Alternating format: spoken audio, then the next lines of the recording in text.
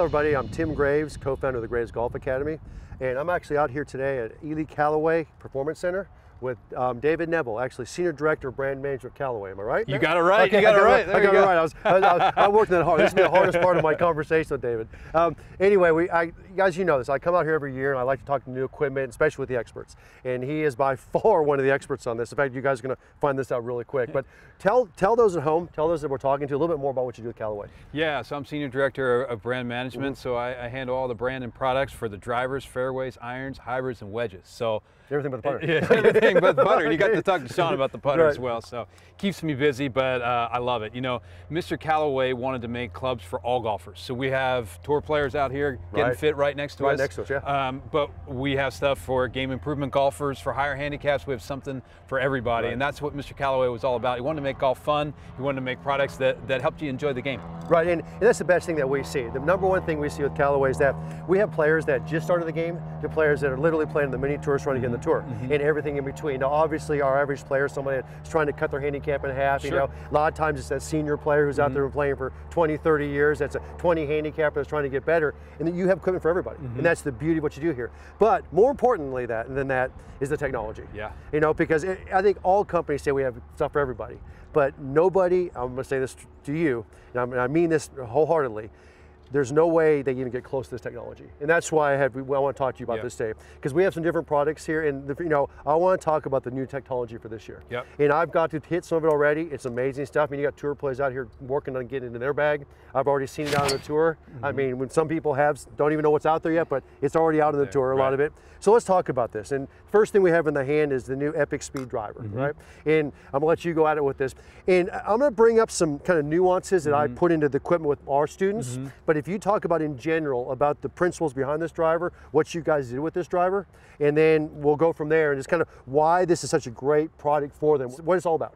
The big story here is we're bringing artificial intelligence to the, the jailbreak system for the first time. So jailbreak was really the technology that got us to number one in drivers. What it did is stiffen the body of the driver, so connecting the crown and sole together to make the body stiffer. Now I'm going to pull a little something out of my pocket here. This is the new jailbreak speed frame. Check this out. Get this on camera, what you Sean. See, yeah. That's what you see on TV with all the guys. Yeah, and everybody, all the guys are holding it up right, um, right. like this. And so what is this all about? So we use artificial intelligence to engineer the, the jailbreak speed frame for the first time. It's all new it's different. So instead of just helping in the vertical direction, it's also helping in the horizontal direction and torsionally as well. So what does that mean for your golfers? Not just high ball speed in the center of the face, but high ball speed and consistent spin rates if you miss the center of face. And we know that all golfers do that, whether it's a tour pro to a high handicap golfer. Right.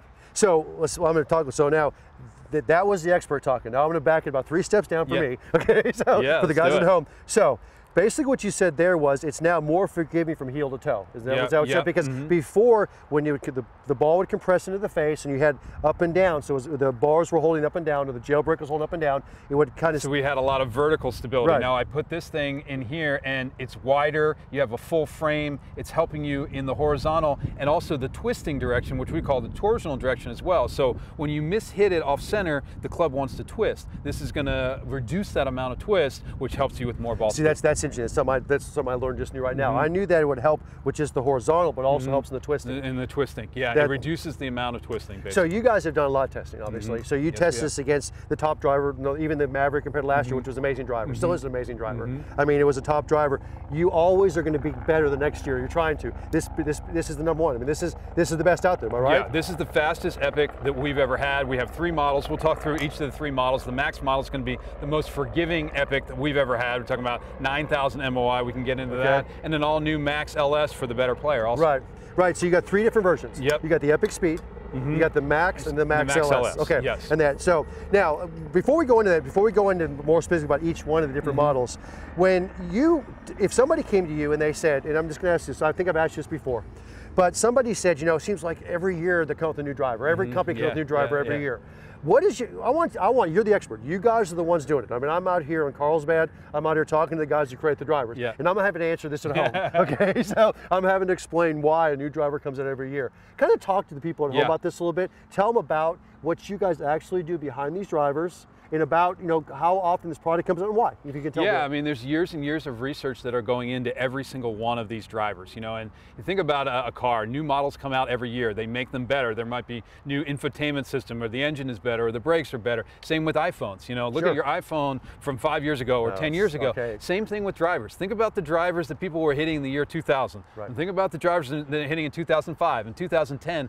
And if you look at it year to year, some people say, oh, it doesn't get that much better. Look at it maybe in a little bit wider time frame, and we're improving it. One of the things we've made a huge investment in is AI and in supercomputing. Right. And we had other companies saying, oh, we use computers too. Sure you do, but we're doing artificial intelligence and machine learning. What does that allow us to do? For something like this speed frame, we made hundreds of different prototypes and models and looked at all different options and what was going to be the one that worked the best for this type of driver. So I want to talk about that for two seconds there, because you just said it, because this is something that we throw to them. You said hundreds of different Yeah. prototypes or models, Yeah. am I right? Yeah. I mean, you go through many, many. There's more you throw away than you'll ever use, isn't there? By it's far. the same with the face. We typically, what we used to be able to do is maybe six or seven different faces, and then we would pick the best one. and We say we're going with that. Now we can do 15,000 different faces, you know, and the computer is, is, is spitting Right. it out and saying which one is going to work. We're able to put in more different characteristics of what we want. So not just high ball speed in the center of the face, but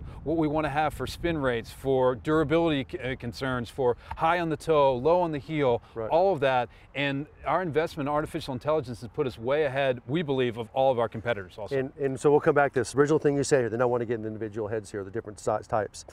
So basically, now with all that being said, so we're talking AI, techno- AI technology, thousands of different types of prototypes and things you're doing, but it ultimately comes back to what factor? To make the golfer what easier? Am I right? Easier yeah, it's all about ball speed, distance, and making easy to easier to hit. You know, tighter downrange dispersion. It's all those things. And so, and what he means by ties downrange dispersion, obviously a little bit more accuracy, a Yeah. more consistency. Mm-hmm. But the beauty of this driver, and we got a chance to take it out about a week ago and really test it. Mm-hmm. We uh, that was the first time, and the real thing I saw in this was the mishits. The, the Mm-hmm. toe and the heel mishits seemed stronger, seemed came back more. I mean, and so it seemed compared to the driver. The other drivers are great. Yep. But on this one, it seemed like you really pushed that area to miss it. So for the average player or even the below average player, it seems like this is going to be a huge advantage. Yeah, for sure. So with the GBB Epic, which came out in the 2017, we really focused on the, the center punch hits, Right. really getting that ball speed as high as we, we could. Epic Flash was the first one to use AI in the face. Right. Now we're looking for that more stability as well. We already have tons of speed. So if you hit it center punch, it's going forever. Right. But a lot of people don't hit it center oh, yeah, punch. yeah, you know, yeah. they're hitting it out in the toe, they're hitting it on the heel. And so what you were seeing is both that ball speed staying higher, but also the spin rate consistency. Right, So when you hit it out on the high toe, it doesn't drop six, 700 RPM and fall out of the sky. It's still hitting Right. the fairway and it's still going to be a long, a long shot. Because it's interesting. A lot of the better players out there, Tiger's been one of those guys that he'll say the company's new drivers, new drivers, but for that great player who hits the sweet spot pretty much every time, it's not as big a deal. But for that average player, it's Yeah. a huge deal, and that's what you're seeing. Yeah, and, that- and, and tour players don't hit the center of the face No, uh, all the don't. time uh, They don't, either, they you know? don't. Um, but but just take a foot powder spray and spray your face and go to the range. You see people hit it all over the face, right? Right. So you need to have high ball speed all throughout the face. and that's what you get with the epic, epic speed. All right. All right. Yeah, so we'll start with the Epic Speed, Okay. you know, and that's what you're holding. That's what Right. I'm holding here. One of the things I'll let you hold that for a second, because I want to hold this up to the camera and show this is the the shape here. This has a cyclone aero shape, so really the back of this driver is almost taken out, and what that's going to make this is really more aerodynamic. You have the air coming over here, and you have the back of this kind of taken out. So this is going to be our fastest head. This is our fastest head. It's going to fit a lot of golfers. It's going to go uh, forever. One of the things you'll see is it both has a carbon crown, but also the carbon toe patch, and that allowed us to get that draw bias, but also raise the forgiveness, raise the MOI of this. This is going to be much more forgiving than the, the Mavrik standard model. Okay. So it's going to be faster than that, but also much more forgiving. That's the Epic Speed. Okay, now you got the epic speed, the, uh, max. The, max. So the max, this is what I would call more of a traditional forgiveness model. Right. Big shape, you can just see it. I mean, Right. I'll hold these up to the camera. You Sure, can see how big sure. this is, stretch from back to front. You have the sliding weight track that, that's going to give you the adjustability. This is 9,000 MOI, you know, MOI, moment of inertia, resistance to twisting. It's the most forgiving epic that we've ever made, ever, ever, ever. The max. The max. And so for a player who's kind of hitting it all over the face, Right. maybe struggling with a slice, a little bit higher handicapper, Right. the max is going to be a great option for them. And if you want to get even more draw bias, say you're fighting a slice, you put this weight into the heel, you put it in the draw setting on the hosel, and you're good to go. So, and, that, and talk about this adjustability for one Mm-hmm. minute here, because you brought it back. So you brought the adjustability. This is a big deal for a lot Yeah. of my students. We, I brought this a lot. In fact, the ones I've had going out and demoing right now, they're all over this Max. They love this Max because the the longer face, Mm-hmm. Yep. got more heel and toe forgiveness on this, Yep. and then adjustability. Adjustability, And talk yep. about that for one more second for because you brought it back. So it's kind of for some people it's going to be new. The adjustable perimeter weight, it's probably one of our most popular technologies. And what you have is you have 17 grams of weight here. You can either move it up to the toe, which is going to make it a little bit more fade bias Mm-hmm. to kind of a neutral. You can put it in the back center where it is right now. That's going to make it as forgiving as possible. Or you put it in the heel, and that's going to help you with the draw. It's infinite adjustability. So what you see with some of the other companies is they have a weight. Maybe you can move it in two or three positions. Right. This you can move in any. You can you can tweak it a little bit. You can tweak it a lot, and it's going to give you about 15 yards of shot shape correction just on the weight. And Wow. then you have the The- the hosel as well. adjustment. You put the the hosel adjustment in there. Now you're talking about 20 plus yards of shot shape correction. So that's taking one of your students who, who could be off the fairway or in the woods and Right. bringing them back to the fairway, Right. and that's so, huge. and we talk about that. You know, we we promote that we're going to work on our swings, we're going to get better, more accurate, but it takes time. Yep. So until they're getting through that, they can adjust it and start bringing it back. Right. That's what we're talking about, bringing it back to neutral eventually. Yeah, eventually, hopefully. eventually, But yeah. you know, but we love this forgiveness. and It's Yep. been very, very popular. One thing I want to talk, about, and then they actually have an Epic Max LS. Yep, And, and- and, describe a little bit about the Max Yeah, LS. Yeah, so the Max LS is going to be a lot like the Max, still very forgiving, but lower spin. Typically for your better player, this is the one we're going to see out on tour Okay. a lot. Has a little bit of a lighter slider, sliding weight in there, more of a neutral CG. So what that means is instead of having the draw bias to it, it's kind of a straight. Because Okay. a lot of those better players, they actually like to hit a little cut because they swing it so Right. fast. And they're hitting a little little cut. You see that with a lot of tour players. The LS is going to be perfect for that. We're going to see that in a lot of tour player bags. Now I'm going to, I'm going to ask you one, another question here, and, and it's kind of a loaded question here. Okay, and, and I'll tell you why. Because I've been doing a lot of experimentation or a lot of things with, you know, we get the Bryson effect. And the Brysons, they look at the longer drivers Mm-hmm. yep. and hitting it further. And so all of a sudden, we call it the Bryson effect. Mm-hmm. And we bring, bring that up because we're single plane. So obviously, a lot of it comes, we get a lot of questions about that. But I'm going to ask you a twofold question here. Mm-hmm. Number one is I want to talk to you just a little bit about shaft weighting, Mm-hmm. okay? Just in general. And kind of your personal opinion of it, because when I my students, you know, most of my students are 55, 6 years age, age Mm-hmm. older, okay, and they're hitting regular flex, senior flex shafts, Mm-hmm. Yep. and I tend to bring the shaft weight down a little bit for them Yep. on the shaft.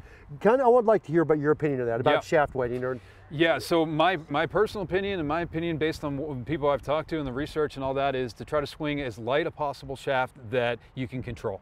Right? love that. Um, so uh, for some players, you know, if you're Bryson or you're Right, swinging right, at right. 100, 130 miles an hour and you give them a 40 gram shaft, no I mean, way. it's going to go all, it'll probably break it, first of all. Second of all, it'll probably go all over the place. Right. But you're talking about somebody maybe who's swinging at 80, 85 miles an hour, yep. 90 Yep. miles an hour. If they can get away with a shaft maybe in the low 50s, Right. even in the high 40s, Right. and still control that, Yeah. that's going to help them. It's going to give them probably two or three miles an hour more club head speed. And Which that is could a tra- lot. yeah, seven, eight, nine, ten yards, Yards, um, there. Now, if if they start spraying Mm-hmm. it, you can go either to a little stiffer flex or you go to a little bit uh, heavier in the weight class. When we do our fittings, we're always trying to get people in the right weight class, Right. and we're trying to get them in the right flex. Right.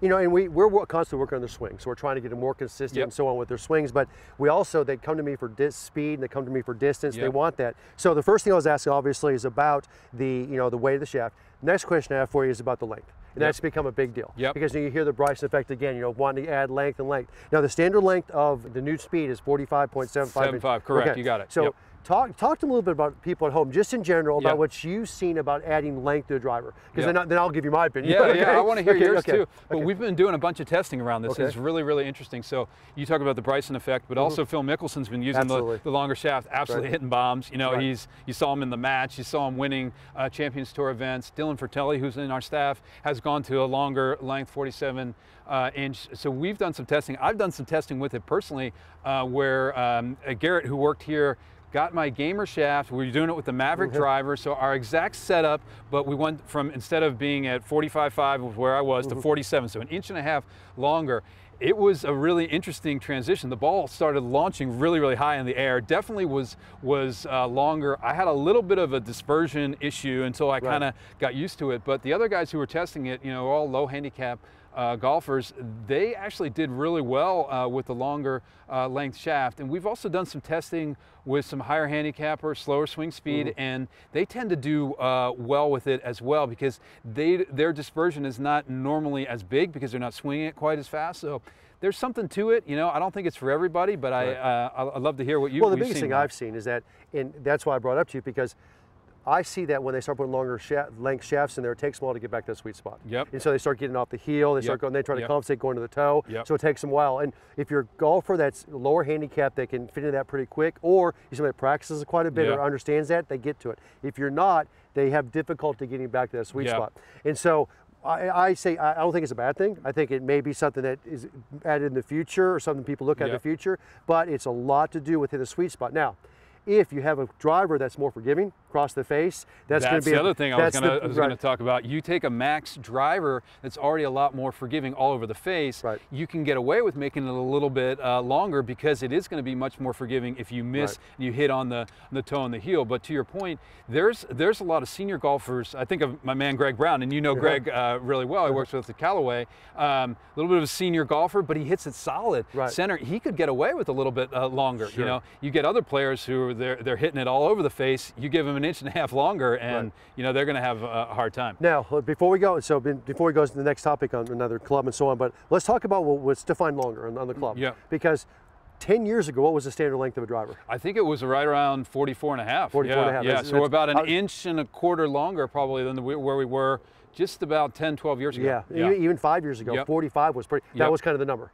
We're already at 45.75 yeah. now. So anybody at home will think this is a short length driver. It is not. In no, fact, in, no. in, in, industry standards, yeah. actually, it's actually in the longer end. Yeah. So, mm-hmm. and you know, because yep. a lot of industry standards are even, I say industry standards, but they're shorter than this. So it's already got a little bit of length yeah. to it. Yeah. So and that's so uh, and that's part of the reason why it's a little bit longer to me, and why also why guys hit it better. You know, a little mm-hmm. bit longer in this club. But because a lot of guys, when they look at this driver, they say, well, what about adding length? I'm always telling them that's a pretty long driver anyway. Yes. You know, for a lot of the start. Right. The other thing is, is that when you're I base the length of drive a lot to do with the person's height.